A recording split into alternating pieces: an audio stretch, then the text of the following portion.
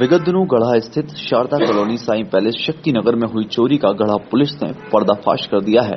आरोपी सत्येंद्र गुलहानी पुलिस की वर्दी पहनकर चोरी करता था। पुलिस ने आरोपी के पास से पाँच लाख तेईस हज़ार रूपए नगद, सोने, चांदी के जेवर और एक मोटरसाइकिल जब्त की है।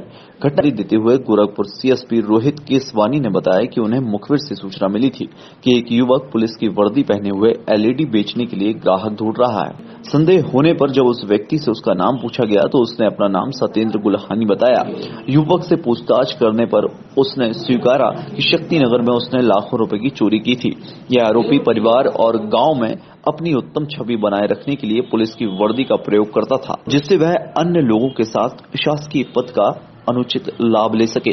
पुलिस ने आरोपी को गिरफ़्तार कर चोरी किए गए लाखों रुपए जेवर और मोटरसाइकिल जब्त कर दी है। जिनके चोरी हुई है, वो आए।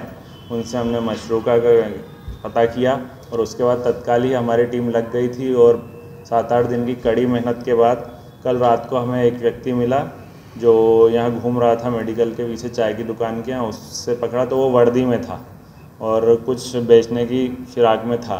तो जब उसे बुलाया, उससे पूछताछ की तो उसने वो उस चोरी का कबूल किया और इसमें हमने जो बरामदगी की है, उसमें, उससे कैश मिला हमें पाँच लाख तेईस हज़ार। गिटार, एलसीडी, दो लैपटॉप, एक कैमरा, एक हेडफोन, एक सोने का सिक्का, तीन जोड़ी चांदी की पायल, एक सोने की चेन, एक जोड़ी सोने के झुमके, एक लक्ष्मी गणेश की मूर्ति और कुछ अन्य सिक्के भी मिले।